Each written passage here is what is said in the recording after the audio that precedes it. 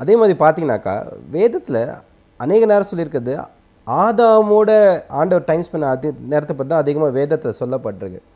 ஆனால் இன்னைக்கு சூழ்நிலை பார்த்தீங்கன்னா குடும்பம் என்று வந்தாலே அந்த ப்ரேயர்னு ஒரு ஃபார்ம் வரும்போது நம்ம வந்து மனைவி இடத்துல அதை கொடுத்து விடுறோம். அந்த கனவு கணவர்ன்றது நான் சம்பாதிக்க வேண்டியதான் என் பொறுப்பு வீட்டுக்காக வேண்டிய காரியங்களை நான் நான் கொடுக்க வேண்டியதான் என் பொறுப்புன்னு சொல்லிட்டு அதிலே நின்று அந்த ப்ரேயர் இந்த பைபிள் ரீடிங்ன்ற வார காரியம் வந்தாலே என்ன பண்ணிடுறாங்கனாக்கா அதை வந்து மனைவி இடத்துல தள்ளி விடுறோம்.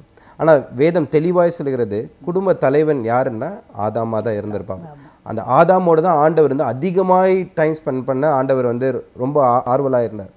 ஸோ எனக்கு தெரிஞ்சு நம்மளும் அந்த இதில் ரொம்ப மிஸ் ஆகிறோன்றதை நினைக்கிறேன். கண்டிப்பா. நம்மளுடைய கல்ச்சுரலா வந்து இந்த ஸ்பிரிச்சுவாலிட்டி இந்த ஆவிக்குரிய காரியங்கள் எல்லாமே பெண்கள் ஒரு உபவாச கூட்டமா நீ போயிட்டு வந்துருமா? சர்ச்சுக்கா பிள்ளைங்களை கூட்டு நீ போயிட்டு வந்துருமா? ஜெபமா நீயே பண்ணிடுமா?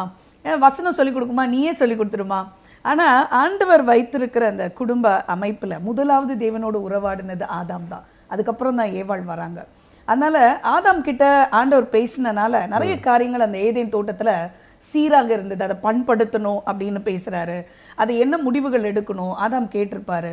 ஆக ஒரு குடும்ப தலைவன் தேவனோடு ஒரு உறவில் இருக்கும்போது அந்த குடும்பம் ரொம்ப சீராக சிறப்பாக இருக்கும். எனக்கு தெரிந்த நிறைய குடும்பங்கள் இருக்குது குடும்ப தலைவர்கள் ஜெபிக்கிறவர்கள். அவங்க நல்ல பிஸ்னஸ் பர்சன் பண்ணுறாங்க நம்ம நிறைய நேரம் என்ன நினைக்கிறோன்னா இந்த ஜெபம் வேத வாசிப்புலாம் சும்மா வேலை வெட்டி இல்லாதவங்க பண்ணுற ஒரு விஷயம்.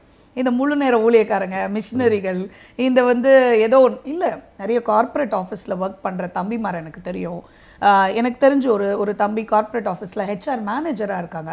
அவங்க காலையில் எழுந்ததும் அந்த வேதத்தை எடுத்துகிட்டு தியானிச்சுட்டு ஆண்டவரோடு கூட ஜெபம் பண்ணும்போது அவங்க குழந்தை ஒரு வீடியோ அனுப்பியிருந்தாப்புல அவங்க குழந்தை பின்னால் நின்று அதே மாதிரி அந்த தம்பி எப்படி அந்த சகோதரன் எப்படி கையை தூக்கி ஜெபிச்சா அதுவும் கையை தூக்கி ஜெபிக்குது.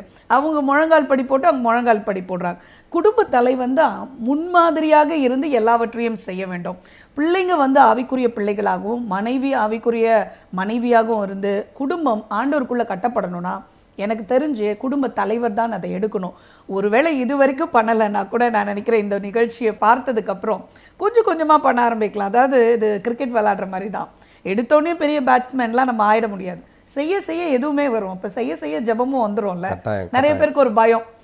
எப்படி பண்ண முடியும்? நம்ம தப்பா பண்ணிடுவோமோ நம்மளை விட ஒய்ஃப் தான் சூப்பரா பண்றாங்க. அவங்க அவங்க அம்மா அப்பா அப்படி வளர்த்துருக்காங்க. நம்மளை வளர்க்கல. இதெல்லாம் சும்மா சாக்கு போக்கு. ஏன்னா செப்பன்ற தேவாதி தேவனோட பேசுறது தேவனும் அதை விரும்புறார். என்னுடைய மகனோட நான் பேசணும். அதுல எப்படி வேணா பேசலாம். கொச்சையா கூட பேசலாம். ஒரு மழலையா ஒரு குழந்தை பேசுறது கூட நம்ம கேட்கும்போது அது இனிமையா இருக்கு. நம்ம விழுந்து சிரிக்கிறோம் என்ஜாய் பண்றோம். ஏன்னா குழந்தை நம்மளோட கம்யூனிகேட் பண்ணுது. அப்படிதான் ஆண்டவர் பார்க்குறார். நம்ம நம்மளோட லாங்குவேஜ் ஸ்கில்லோ நம்ம இந்த வார்த்தையெல்லாம் போட்டு ரொம்ப சிறப்பா பேசணும்னு அவசியம் கிடையாது.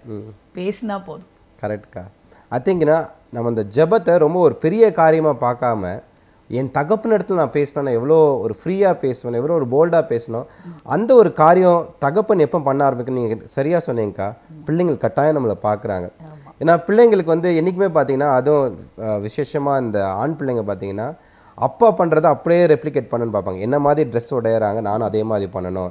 என்ன மாதிரி ஷூ போடுறாங்க என்ன மாதிரி ஸ்டைல் பண்ணுறாங்க ஹேர் ஸ்டைல் அப்போ இந்த ஜெபன் ஒரு காரியம் எப்போ தகப்பன் ஆரம்பிக்கிறானோ அதே காரியத்தை பிள்ளைகளும் பண்ணுறதுக்கு ஆயத்தமாக இருக்கிறாங்க. So I think that will be a positive influence நம்ம பிள்ளைங்களுக்கு இருக்கும்னு நினைக்கிறேன்க்கா வேற என்னக்கா சொல்ல விரும்புறீங்க? அதாவது கணவன் மனைவி அதாவது ஆதாம் ஏவாள் தனித்தனியா ஒரு உறவு மட்டும் வைத்துல இணைந்து கர்த்தரை சந்திக்கிறவங்களா இருந்தாங்க.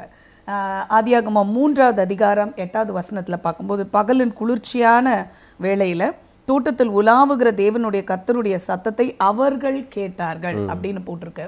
அப்போ ரெண்டு பேர்கிட்டயும் அந்த ஈவினிங் டைம்ல ஆண்டவர் வந்து பேச ஆரம்பிக்கிறாரு.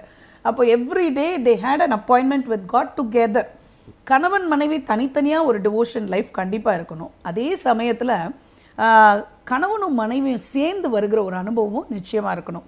எனக்கு தெரிஞ்ச ஒரு குடும்பம் தலைவர் வந்து ஆட்டோ ஓட்டுறாரு அவர். ஆட்டோ ஓட்டிட்டு ராத்திரி வர்றதுக்கே பதினோரு மணி ஆகுது. ஆனால் எவ்வளோ நேரம் வந்தாலும் அந்த குழந்தையும் முழிச்சிருக்கு அவன் மனைவியும் முழிச்சிருக்காங்க. அவங்க ஒரு அரை மணி நேரம் ஜெபிச்சுட்டு தான் சாப்பிட்டு ஜெபிச்சுட்டு தான் அவங்க வந்து படுப்பேன் அப்படின்னு சொல்லி இந்த அந்த சகோதரர் சொல்லும்போது ரொம்ப சந்தோஷமாக இருந்தது. அது மட்டும் இல்லை அதனால் என்னெல்லாம் காரியங்கள் பார்த்தீங்கன்னா ஒரு நல்ல ஆசீர்வாதம் அந்த குடும்பத்தில். அக்கா கையின் பிரயாசங்களை ஆசீர்வதிக்கிறார். நாங்க கூடி எதுக்கெல்லாம் ஜெபிக்கிறோமோ அது எல்லாம் நடக்குதுக்கா. அதனால அவர் இன்னும் பார்த்தீங்கன்னு சொன்னா ஆட்டோ ஓட்டும் போதே வந்து ஆண்டவரை பத்தி நிறைய பேருக்கு சொல்றாரு. அவங்களுக்காகலாம் ஜெபிக்கிறாங்க குடும்பமா. நம்ம கணவன் மனைவி இணைந்து ஜெபிக்கிற மாதிரி ஒரு வல்லமை அந்த இடத்துல ஆண்டவர் வந்துடுறாரு. எங்க ரெண்டு பேர் கூடுறாங்களோ மூன்று பேர் கூடுறாங்களோ மத்தியில நான் இருக்கேன்னு சொல்றாரு. இன்னைக்கு குடும்பத்துல நிறைய பிரச்சனைகள் இருக்கு.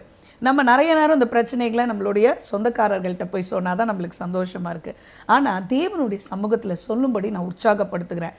கணவனும் மனைவியும் கொஞ்சம் கரம் பிடித்து ஆண்டவரே எங்கள் வீட்டில் இந்த பிரச்சனை இருக்கு என் குழந்தைக்கு இந்த பிரச்சனை இருக்கு இல்லை என்னுடைய என்னுடைய வியாதி இருக்கு அப்படின்னு சொல்லி நம்ம ஜெபிக்கும் போது கத்தர் அந்த ஜெபத்தை கேட்டு அதற்கு பதில் கொடுக்குறவராக இருக்கிறார்.